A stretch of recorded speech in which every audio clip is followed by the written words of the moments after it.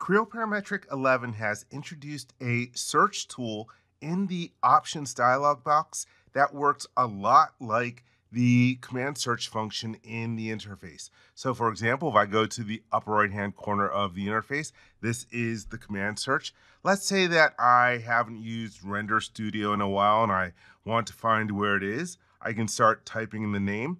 If I hover my mouse over the search result, it will show me where the command is in the interface, and I can actually execute the command from here. Let's say I'm looking for the new performance report. Well, let me start typing in performance, and I can hover my mouse over one of the results. Hey, there it is on the Tools tab from the Investigate Overflow menu. Let's take a look at doing it from File Options. I'll go to File, and then here is options and I'll click on it. It opens up the options dialog box and here we have our search bar for looking for the various options.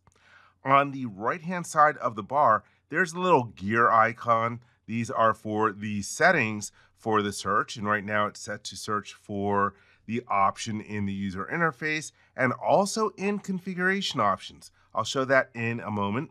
You can also search in the tooltip for the different options. You can choose to match the case, and we can match criteria with any word beginning with that phrase or containing or ending with. All right, let me cancel out of the search settings. Let's say I am a brand new user and I want to figure out where the heck do I change the background color? Well, I will start typing in background and here are the different search results. Let me scroll up a little bit. And here we have system appearance background. I can see that one in there. And you can click in here just to go to the relevant category where it appears in the option dialog box. Another example, let's say you are trying to learn more about the options and you just want to explore. Let me type in the word shade. And here we have a number of different results. So for example, shaded edges, where we have shaded model display settings, and let's see, shade closed loops. That is for sketching. You can see all the different ones that have shaded in the name. Let me jump down to another one. Oh, here are a bunch of config options that are not in the user interface. Okay, for the next example, let's say that you are trying to get to a command that you haven't used in a blue moon. Let's say you are looking for your model check settings. So I will start typing in model check.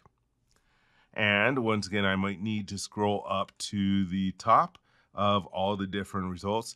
Hey, if I go to the environment category, that's where I can get to my model check settings. And again, I can just click on it from the search results in order to stay on that particular category. A couple more examples. Let's say that I have been checking that box to close a whole bunch of different dialog boxes and I want to get back to it. Well, let's start typing in dialog box and let's see, checkpoint dialog box. Oh, resume display of dialog boxes. Let me click on that. And here we have that button to change that setting. And like I mentioned earlier, it will also search for config.pro option. So for example, when we type in obsolete for a config option, and here we have configs that are in the user interface.